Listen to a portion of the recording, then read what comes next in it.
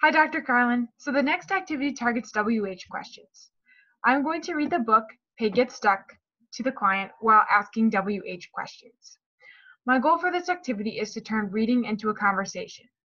This activity is used because reading will improve comprehension and phonological awareness, increase vocabulary, strengthen language skills, and create a link for children between old and new knowledge. Book reading improves a child's understanding of print and the mechanics of reading, including reading words from left to right. Reading expands on the child's knowledge of, of the world by providing opportunities to learn about animals, places, people, etc. I plan to use strategies such as owling. This stands for observe, wait, and listen. I will pause periodically throughout the book reading to allow time for the child to make a comment or ask questions. Stopping at different points in the story will allow the child to think about something, give them time to respond, and ask follow up questions or comments to expand the conversation. Book reading is not about following directions. A research article by Myra and Schwanenflugel in 2012 discussed the importance of reading enthusiastically to increase comprehension of the story.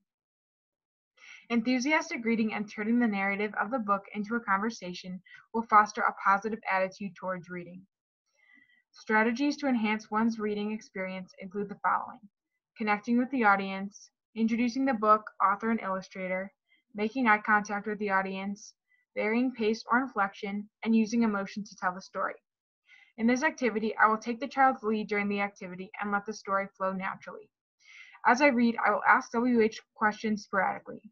These questions are meant to continue to engage the child, serve as conversation starter, and, and, and check comprehension.